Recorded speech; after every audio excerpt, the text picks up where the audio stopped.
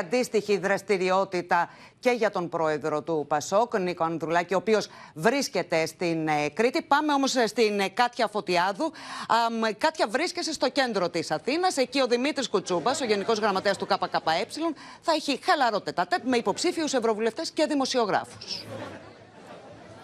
Σε γνωστό καφέ ρεστοράντε εδώ στο κέντρο της Αθήνας, ο Δημήτρης Κουτσούμπας επέλεξε να περάσει τη σημερινή μέρα με πιο χαλαρή διάθεση ανάμεσα σε υποψήφιους ευρωβουλευτές του κόμματος, βουλευτές, στελέχη, αλλά και εμάς τους διαπιστευμένους συντάκτες.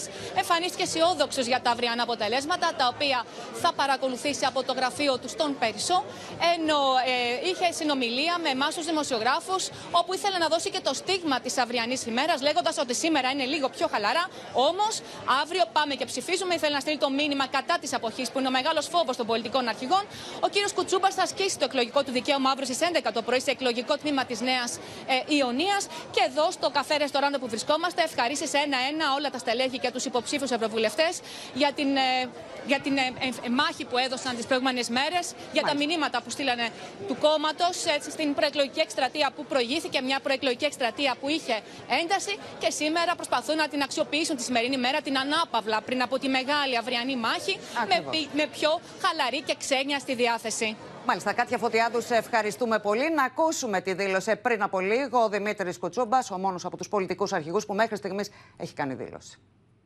Σήμερα λίγο χαλαρά, αλλά αύριο πάμε και ψηφίζουμε.